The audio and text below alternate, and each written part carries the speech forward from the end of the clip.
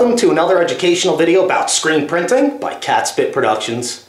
Please remember, if you like my videos, if you watch the videos, you check them out, you use some information, you like the tips, you like the advice, please remember to subscribe to my YouTube channel because I really need your support to keep going forever, to keep growing and continuing to offer you more free information. I really need your support and you can easily do that free just by clicking subscribe. So do that today. Would you? Do it. Do it. All right, so today I have a really, really exciting video. It's either very exciting or I've had too much coffee. It's one of those two. Yes, exciting, exciting. So, what we're going to look at today is something that people have asked me about a long time, and I'm not really sure what kind of tips I have for you. I'm going to just do my best to share my experience with you with how to register a multicolored job without micro registration.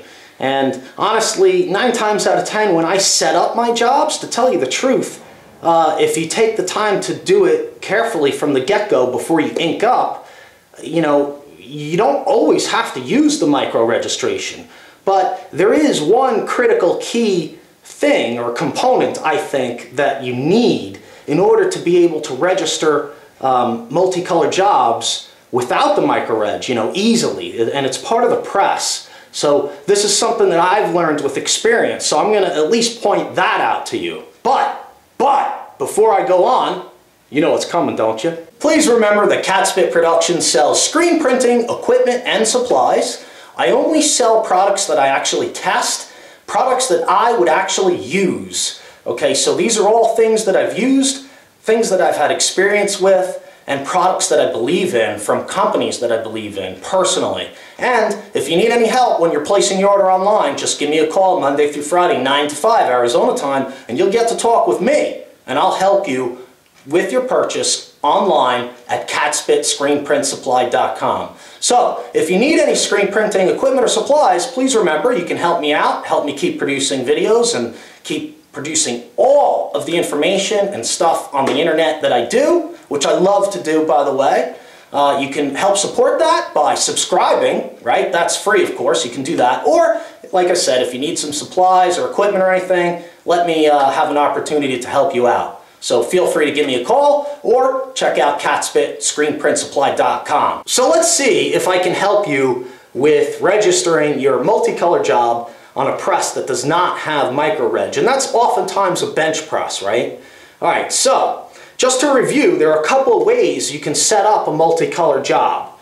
You can use the film positives on press, meaning you can line them up on your pallet and use them on press, okay? You can use the key printer, your, your printer with the most amount of information that um, that all the other colors will line up into, so to speak, right? We can use that one as a starting point, and we can line this up on your pallet, okay, and tape it down, and we can line up screens on that, okay? Or, as you probably have seen me do in other videos, I, I think I've done both ways, but uh, I also sometimes will take the key printer, the screen, Okay, sometimes I just take the screen, set it up on press, put a, you know, center it, set it up like, like we're gonna set up the whole job with this, with this screen, and I print a test shirt on the pallet, I flash cure it, okay, and then I line up all the other screens to that test shirt, okay? So there's those two different ways of doing it. But today, basically what I'm going to show you, what I'm going to show you is not so much the actual setup, but what happens when you don't have micro reg or what happens when you put a screen in this clamp and you clamp down these these clamps? Because that I think is what's happening to a lot of you okay? Because you know how to line it up on the pallet, right? But when you go to lock down these clamps it's moving right? The screen is moving on you. For the demonstrative purposes of this video I'm going to use my film positive as a starting point. So I, you know, we're not really setting anything up. So uh, let's say theoretically, we center this, okay, and I'm going to line the screen up to this. And now with what we're talking about with the with the one color or two color multicolored bench presses where you have no micro registration, none of the micro reg back here, okay, oftentimes, you know, when you set setting your screen up and you clamp it, the screen is moving when you clamp it, right? So that can happen even when you're first setting up, say we're setting up the key printer like this and we want to line it up to this this acetate on the pallet and this is our first screen. So this could happen even for this if we're using this technique, right?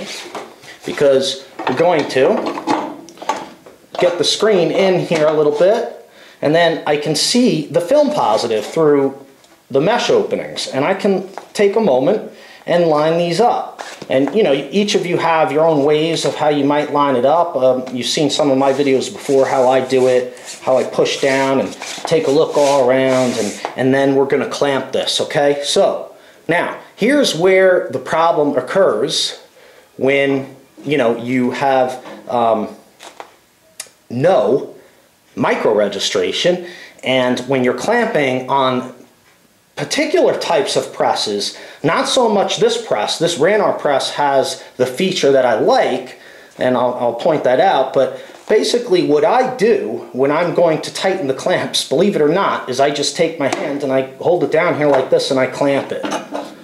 Okay, and, and that's all I do. And I do this with all my registrations, honestly, because like I said before, if I take the time to set it up right from the get-go, Nine times out of 10, I don't even have to touch the micro reg, okay? So um, it all really comes down to your clamp. So we're gonna look at that. Okay, so if you find that when you clamp down the clamps, the screen is moving, it's probably going to move towards the direction of the turn, right? Possibly. Um, you know, believe it or not, what I've done in the past at shops that I've worked at that had, you know, pretty crappy presses and you know, you, you lock them in and, and it does this thing as you, as you, as you tighten the clamps, it goes, you know, sorry for the sound effect, but the, uh, the screen will actually move a little bit, slightly. Okay, so on those presses, I honestly got used, used, I got used to the press and what I would do is I would offset the, the screen because I knew when I tightened it down, it was going to move like so. Okay, so believe it or not, when I didn't have micro reg and the clamp was causing the screen to move, I would actually offset the screen to whatever I'm lining it up to by the amount that I recall from experience that the screen is moving. Okay? That's sketchy, right? But it, it, it's what we, it, it works, okay? Because after a while, as you get used to printing, you're gonna understand um, what's moving and where it's moving. Uh, stencil drag, clamps, all these kinds of things. You're gonna notice those and you're gonna know which way it's moving. And you're gonna kinda know how much too. So believe it or not, that works. And that's probably the only two things that I could tell you is, you know, one is I, I hold the thing down. Maybe if you have a shop where you have somebody working with you, you can have your partner hold the frame while the other guy clamps it. Okay, you could do that. But if you're by yourself, all you can do is do this kind of caper, tighten it down, and hope it doesn't move when you, you know, when you lift it up and check, okay? Or, like I said, if you're very familiar with what's going on, you can actually offset the screen so that when you clamp it and it moves, it's going to move right into registration. Now let's take a look at the print head, the clamp, and let me show you why um, that this Ranar press in particular doesn't have that kind of issue and what kind of presses do have an issue when you clamp down and the screen moves. Let's look at the head, the print head.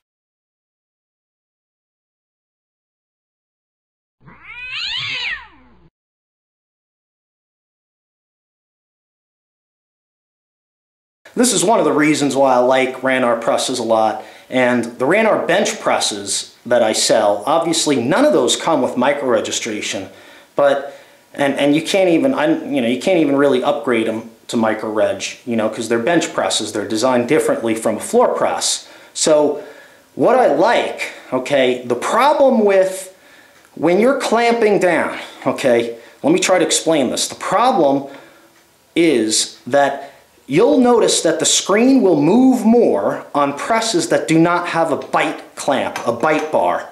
This is, this bar that's here is attached to both of these knobs, both of the clamps, it's attached. permanently. I mean, you know, you can replace it, but it's fixed here, okay? And the threaded knob inside moves independently of the bite plate, or whatever we want to call this. Let's call it the bite plate, okay? And so when this screws down onto the screen, the screen frame never actually comes into direct contact with the threaded clamp.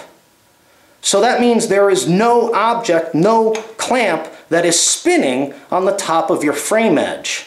Okay, so I don't have a press that does not have a bite plate. So I can't show it to you, but imagine, imagine if you will, in your mind, imagine that there is no bite plate here.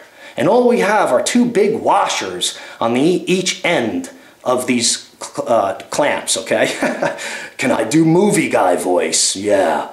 All right, so just imagine that for a moment, that this clamp is, or this bite plate is not here. So what you would have is two rotating knobs with those big washers. So when you tighten them, the washer and the knob is spinning, and that's causing the frame to move. It moves in the clamp. Okay, so that's why um, you'll find that presses that do not have a bite plate, when you clamp down the screen, it tends to move a lot. Now, it's possible that it might move a little bit in this type of thing. I I don't think mine moves at all, really, honestly. I, I like this a lot. This bite plate setup is very cool. And I don't think when I clamp my screens down to register, I don't have any movement, you know, I don't think very much, if at all. Okay, so that's why when I set up, quite honestly, guys, I don't use my micro reg a whole lot. Um, I have it because it's convenient and I need it for particular jobs. But uh, when I can set the job up easily by just taking my time and using a nice press that has a bite clamp, okay, or a bite plate, okay, then I can pretty much set them up without the micro reg and do pretty well with a little bit of experience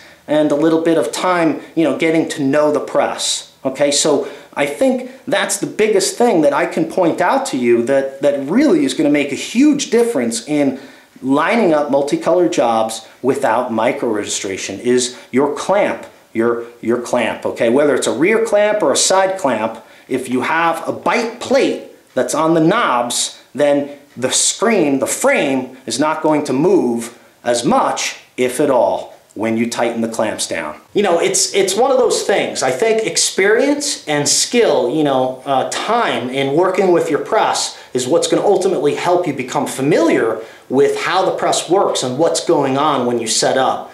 Registering a multicolor job on press without the micro registration is what it is. And I think the best tip overall is when you set up, take your time.